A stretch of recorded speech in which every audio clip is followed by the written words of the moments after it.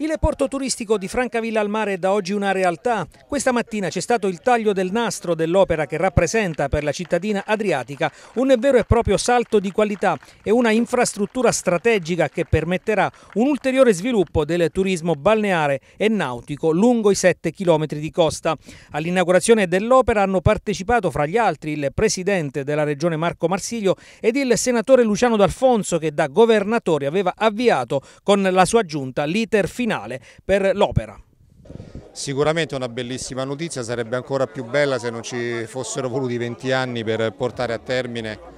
quest'opera, se non ci fossero state inchieste fondate sul nulla, finite in una bolla di sapone che hanno portato a due anni di sequestro di un cantiere che era quasi finito e che si è dovuto ricominciare da capo perché in quei due anni le opere si sono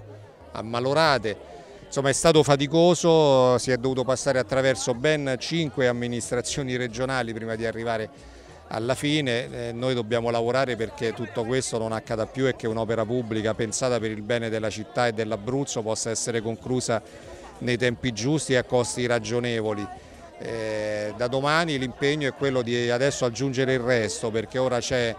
l'approdo, bisogna completare i servizi a terra, bisogna completare tutto quello che possa rendere questo approdo competitivo, attrattivo e generare benessere ed economia per il territorio. Oggi è un, punto, un giorno di festa ma è un punto di partenza per Francavilla, finalmente quest'opera è funzionale, c'è ancora un lungo percorso da fare, però diciamo che il punto di partenza è quello di oggi.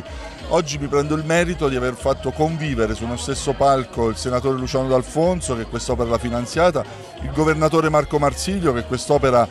oggi l'ha inaugurata e quindi vederli insieme e a ragionare sullo sviluppo futuro di Francavilla, ecco questo è il percorso che la politica dovrebbe compiere a tutti i livelli. Assolutamente sì, eh, in, questa, in questa zona accadono molte cose, ad esempio il prossimo anno ci sarà il ponte ciclopedonale che sarà un ponte che cambierà lo skyline di Francavilla, attirerà molti visitatori qui a Francavilla unita al porto, alla nuova pista ciclopedonale che andrà realizzata nel lato sud, insomma è una Francavilla che si sta sviluppando verso il futuro.